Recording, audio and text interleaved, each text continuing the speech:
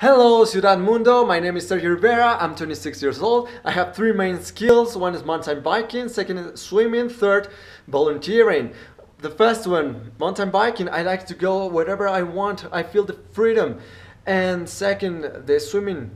Uh, I've been swimming since I am six years old. And wherever I go, I and there is water, I go there. It's my second element. And third, volunteering. I did my volunteering Cochabamba Peral Project, Critical Mass, and Bolivia Digna. It's something beautiful because you, I, we worked with little children. They taught me I can find happiness in small things. It's really beautiful. I want to be in summer camp because it's, uh, I believe, I'm gonna meet new people, share new experiences, open new doors, and it's gonna be awesome.